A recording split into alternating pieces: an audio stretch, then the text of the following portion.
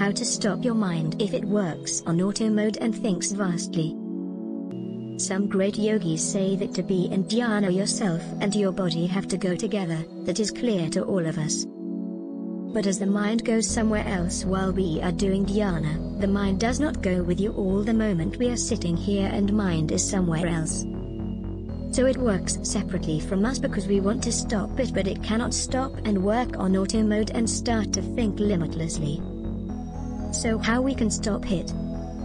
This question arrives in every human mind who practiced dhyana. Actually, your mind didn't go anywhere it is still here.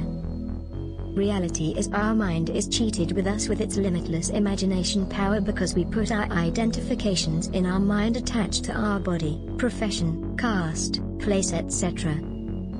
These identifications are so deep in our mind that we can't get out from them. If you want to stop to think about something automatically a new tab of imagination will suddenly appear in front of you. If you want to stop this so firstly you have to clear your wrong identification one by one from your mind.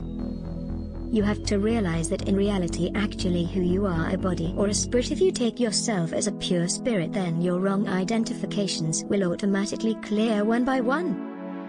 Then you suddenly feel that your mind will become a mirror who reflects all the negatives and limitless thoughts in your mind and when you reach on this stage you will find that your perceptions of being identifying yourself with those identifications will vanish.